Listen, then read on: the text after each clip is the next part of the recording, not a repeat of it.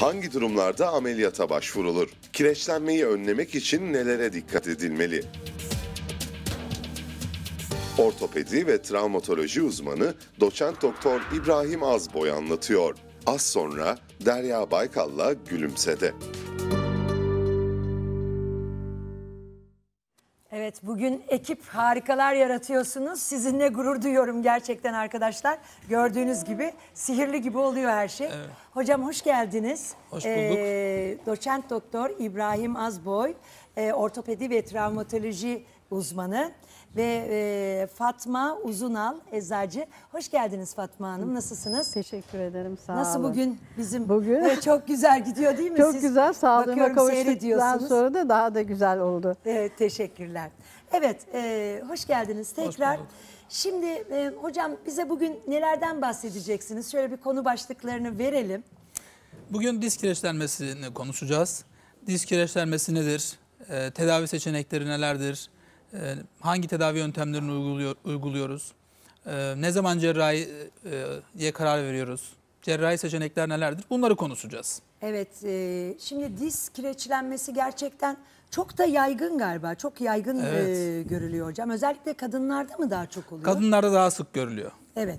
E, disk kireçlenmesinin sebepleri nelerdir hocam? Disk kireçlenmesi tabii bazı romatolojik hastalıklarda sık görülüyor.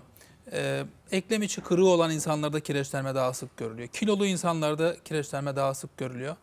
Ee, bunlar olmasa da e, sebebi herhangi bir şeye bağlamadığımız disk kireçlenmesi de e, görebiliyoruz. Ailesinde kireçlenmesi olanların e, dizlerinde, kalçalarında kireçlenme olasılığı daha yüksek. E, kısaca böyle özetleyebiliriz. Evet. E, kimlerde dediniz? Onu zaten söylemiş oldunuz. Disk kireçlenmesi hangi belirtilerle ortaya çıkıyor? Evet. Nasıl yani? E, disk kireçlenme mi? Biz bunun ayırdığını nasıl Evet, göreceğiz? aslında disk kireçlenmesi çok doğru bir tabir değil ama e, halk, tabiri? halkın halk Aslında aslında, ta- olay kıkırdağın aşınması, bozulması, e, zaman içerisinde kıkırdağın fonksiyonunu kaybetmesi ve altındaki kemiğin ortaya çıkması, kemiklerin artık birbirine e, sürtünmesi olarak e, devam eden, yıllar süren bir rahatsızlık. E, tabii ilk başta hafif ağrıyla başlıyor. Zaman zamanla e, bu ağrı giderek e, artıyor. Evet. Aslında Fatma Hanım yanımızda kendisi bu e, şikayetlerini aslında daha detaylı anlatabilir. Kireçlenme yaşayan bir e, Evet. Bir hanımefendi kendisi. deformasyon oluyor yani Tabii, e, zaman tabii. içerisinde. Tabii tabii deformasyon oluyor, şekil bozukluğu oluyor. E, zaman içerisinde fonksiyonlar kısıtlanmaya başlıyor. E, merdiven inip çıkmak zorlaşıyor. Günlük aktiviteleri yerine getirmek zorlaşıyor. Kalça kireçlenmesi olanlarda çorap giymek zor oluyor. Arabaya inmek, binmek zor oluyor. Diz kireçlenmesinde tabii yürümek zorlaşıyor. Merdiven inip çıkmak zorlaşıyor.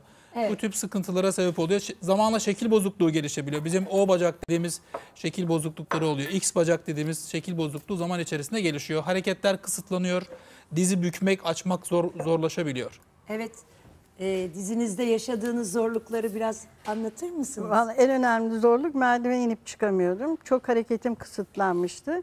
Önce sağ ayağım başladığı için araba kullanamıyordum.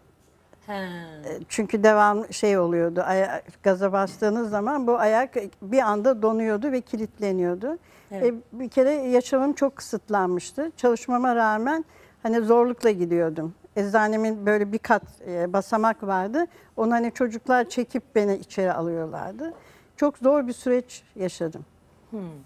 E, peki e, ne tedaviler uyguladınız? E, vallahi, e, önce kemik içine iğne yapıldı. Ondan sonra e, proloterapi uygulandı. E, bir de PRP yapıldı. Ama Ama sonunda ameliyata ciddi Olmuş. bir şekilde karar verdim. evet. E, şimdi konuşacağız tekrar e, size söz veririm. E, peki bunun tanısı nasıl konuyor hocam? Evet, tanısını aslında biz direkt e, grafiğiyle koyuyoruz. Çoğu hastamız bizden MR çekmemizi istiyor ama aslında biz normal filmle, basit bir röntgenle e, eklemi rahat bir şekilde değerlendirebiliyoruz. Aslında şu modelden de gösterebiliriz. Evet. Normalde bizim dizimiz, e, diz eklemi iki tane, Hangi kamera üç, Erkan? Şöyle gösterebilirim. Evet. Üç tane kemikten oluşur. Şöyle görünüyor. E, bir e, bacak kemiği femur diyoruz. Kaval kemiği tibia, şu, şu kemik. E, bir de patella dediğimiz kapak kemiğimiz var. Bu üç e, kemik diz eklemimizi oluşturur. Dizin, dizin içine e, eklem kıkırdağı kapatır şurayı. Evet. Yaklaşık 5 milim kalınlığında bir kıkırdağımız var. Bu kıkırdak zaman içerisinde yavaş yavaş aşınmaya başlar. Önce bir saçaklanmalar, yarıklanmalar, yarıklanmalar oluşur. Zamanla altındaki kemik açığa çıkar.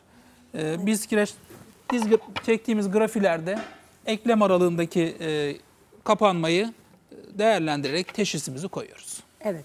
Ee, peki e, kaç yaş aralığında daha sık e, görülüyor? Genellikle orta ileri yaş e, hastalarımızda görülüyor diz kireçlenmesi. Kalça biraz daha genç yaşlarda görüyoruz. Evet hocam çok kibar. Orta ileri yaş Evet, evet, yaşlı olarak ifade etti. Ama böyle ifade edin Evet, hocam. Çok diyelim, güzel, evet. daha güzel e, Evet, bu evet, ifadeyi. E, çok sevdim.